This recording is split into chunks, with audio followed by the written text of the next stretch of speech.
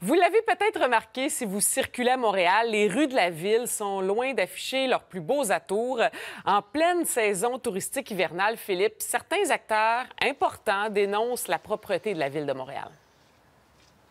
Exactement. On s'est promené là, sur Sainte-Catherine, Saint-Laurent, Ontario. Et là, on se retrouve sur la rue Champlain. On a un bel exemple ici. Là, pendant une dizaine de mètres, vous voyez là, déchets au sol, cartons restants de, de restauration euh, rapide. Euh, c'est premièrement pas très accueillant comme ville de Montréal. Il y a également de fortes odeurs là, qui euh, sont dégagées justement de ces déchets qui se retrouvent au sol.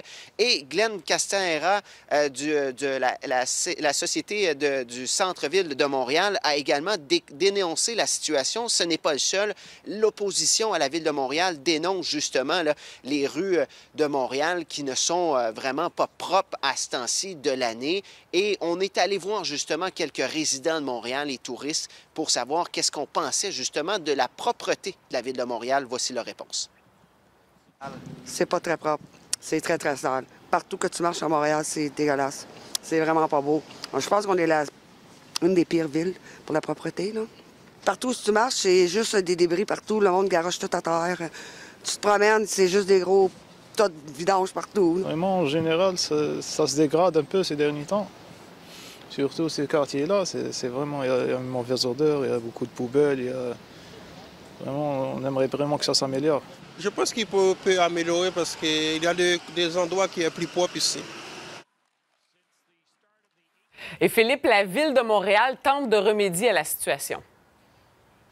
Exactement. La ville de Montréal est bien au fait, justement, de la situation de certaines rues qui sont un peu plus problématiques à ce temps-ci de l'année, surtout qu'on n'a pas de neige, justement, là, pour euh, euh, cacher un peu les déchets qui se retrouvent au sol. On a lancé une opération blitz de nettoyage sur la rue Sainte-Catherine depuis, Sainte-Catherine depuis 24 heures, entre Berry et Papineau, pour just, justement essayer de remédier à la situation. Mais on devra s'ajuster dans les, pro les prochaines années. On peut, on peut écouter le porte-parole de la ville. Oui, la ville doit s'adapter aux conditions météo changeantes, surtout dans un contexte de changement climatique. Euh, il y a des solutions qui sont étudiées. Euh, on peut se poser la question, est-ce que les brigadiers de la propreté euh, devraient être là 12 mois par année plutôt que de couvrir la période du mois d'avril jusqu'à la fin d'octobre? C'est des questions qui sont adressées à la ville de Montréal et on regarde tous les moyens qu'il faut mettre en place pour être capable de s'adapter dans un contexte où nos hivers, ils sont, changements, sont changeants. Hmm.